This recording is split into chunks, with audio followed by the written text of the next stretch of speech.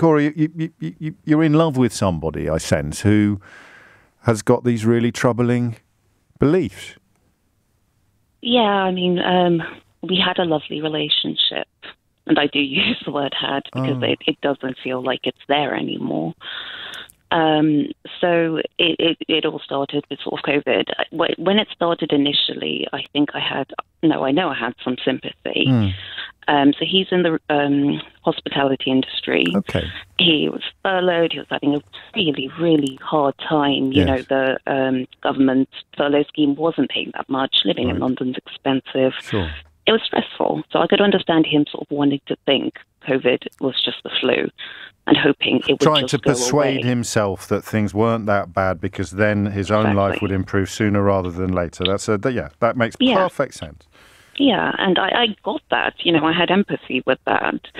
But then when it started sort of, um, and it's actually, you know, quite a few of the same things that your last guest was talking about. Mm-hmm. Um, so Bill Gates is evil, and What do we know what- why? Do we know why Bill Gates is evil?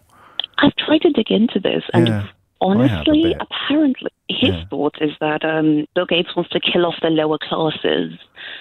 Um, and I can't. I have tried to explain that without the lower classes, you know, or the less wealthy people. The wealthy people wouldn't be wealthy. Yes. Their wealth wouldn't mean Well, anything. you, you could just call them customers, couldn't you, to make that point? Right, sorry.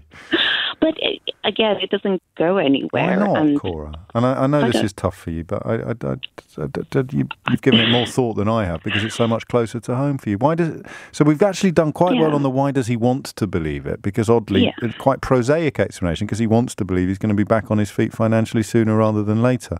exactly. But then the stuff that they believe that he believes is amazing. I, I, I do wish it just sort of ended there. Mm. But then somehow it goes into um, Donald Trump is actually a really good guy, and the reason why he wanted to build the wall Yeah. between America and Mexico is because the Mexicans are responsible for child trafficking, and Donald Trump is trying to stop that. Oh, this is QAnon stuff, right? I, this is the back to the pizza restaurant that has no basement, but in that basement there's a, an international child trafficking ring involving some of Hillary Clinton's friends. and apparently Barack kept child sex slaves in the White House. Right. Um, and you, and I- you're, I- well, I, I don't know what to say to you, Cora. I can, Yeah. I, you know, I thought I wondered whether you were nervous about being on the radio, but clearly the tension in your voice is built upon the consciousness of just how how scary this is that someone you It is, yeah, terrifying. That's actually how I would describe it, because I, I, I don't, I, I don't understand. Um, and this is all just from falling down rabbit holes on the internet. it seems that way, yeah. Um, there's also the George Soros stuff, which I've tried and tried and tried to explain is anti-Semitic, and it's. So he, he apparently got the idea into his head that George Soros was trying to buy Hungary. Right.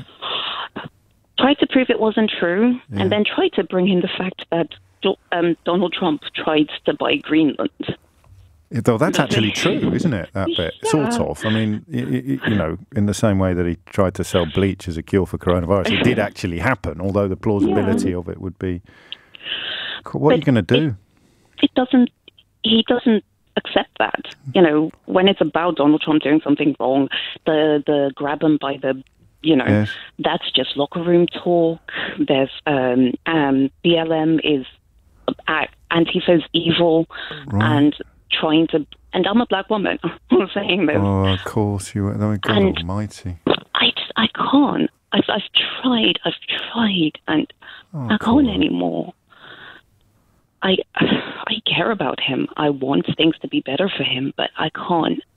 I can't keep arguing about it. He refuses to wear face masks on public transport because he thinks it's a means of control. He refuses to accept that it's just a way of protecting everyone. How would it be a means of control? Because I've seen this in America. Is he American? Do you mind me asking? No, No. he's he's actually Hungarian. Hungarian. Oh Lord. um, big Orban fan then, presumably. I- don't know. He Right. seems to be warming up to him. He never was, but he's now kind of warming up They do him. seem to go hand in hand. A lot of the things that you've described, don't they? I, I, Yeah. I, I, I, um, I don't know what to say to you. I think, I think you, I think you know what I want to say, but I'm not sure it's my place. I don't know. I think it, I have come to terms with the fact that this isn't this isn't what it was, and No. I can't keep arguing about things because that you, it, it's a brick wall, isn't it? I think. Unless, is. but I'll keep looking for keys, and and, and, and, and I'll keep signing up people like you to help me. And and what you've done, and I know this is a scant consolation for the elements of your life that feel like they're falling apart.